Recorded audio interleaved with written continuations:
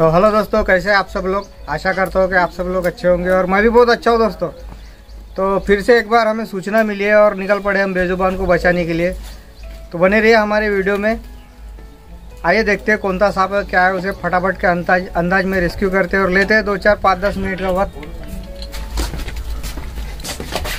तो दोस्तों, ये किचन रूम है, इनकी यहाँ रहन सहन की व्यवस्था है दोस्तों। तो जहाँ इंसान रहता है, वहीं अनाज और अनाज को खाने के लिए चूहे आते हैं और चूहों को खाने के लिए सांप अक्सर आ जाया करते हैं दोस्तों। तो सांप अभी ये बिल में अभी छुपा है।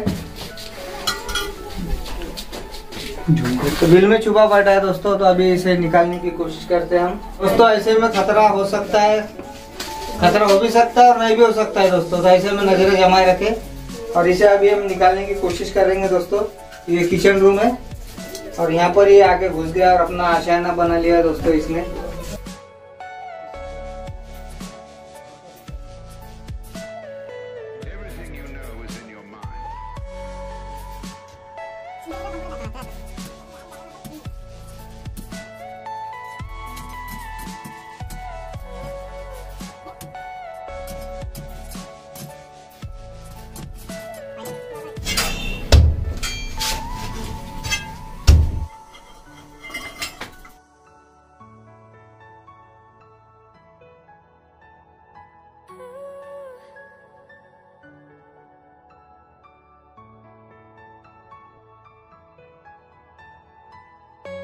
না বলল না হলো কয়জন মনে হচ্ছে দে টাকা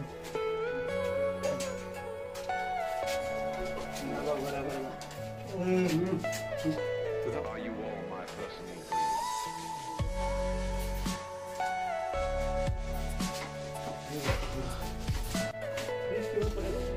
camera ಇಬ್ಬರ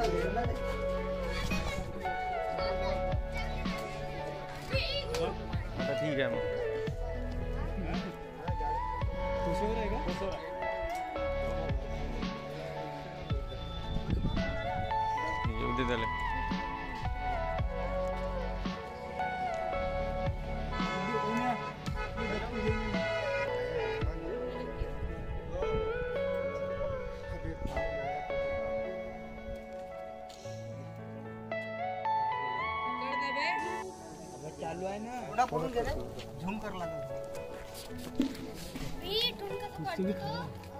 निकाल रहा वो उंदीर असं गुंदीर सुसुंदरी.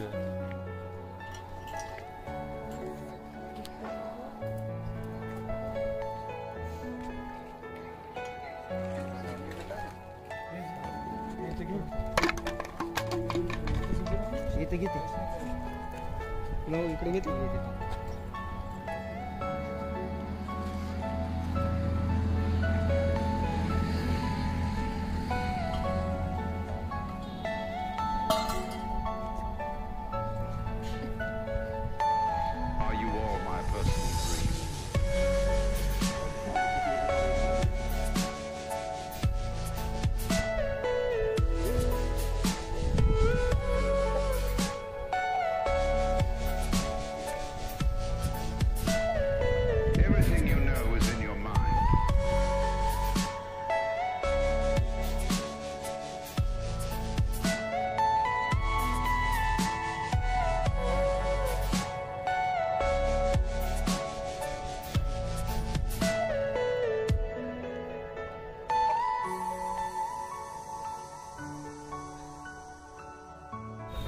तो इसे इंग्लिश में इंडियन स्पेक्टिकल कोबरा बोलते हैं दोस्तों। हमारे इधर इसे नाग बोलते हैं, बिहार में इसे गेवन बोलते हैं। और कहीं कई ये पलटू के नाम से भी जाना जाता है दोस्तों। और साइंटिफिक नेम इसका नाजा नाजा है दोस्तों। इसमें न्यूरोटॉक्सिक नाम का वेनम होता है, जो कि इंसान के लिए बहुत ही घातक होता है। इसके बाइट होने के बाद आदमी के पास सिर्फ़ एक घंटे का समय होता है दोस्तों। तो ऐसे में आप कोई भी फुकफाक के चक्कर में ना गिर गए, सीधे सरकारी अस्पताल में ही जाइए और अपना इलाज करवाइए दोस्तों।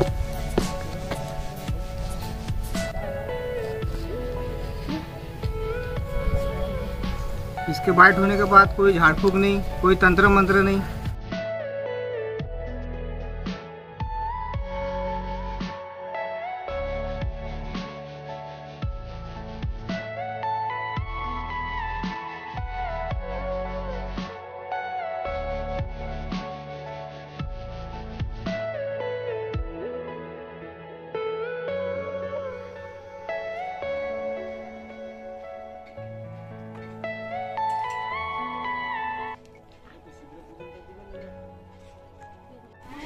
मेरा नाम सुदर्शन देवानंद भवन है।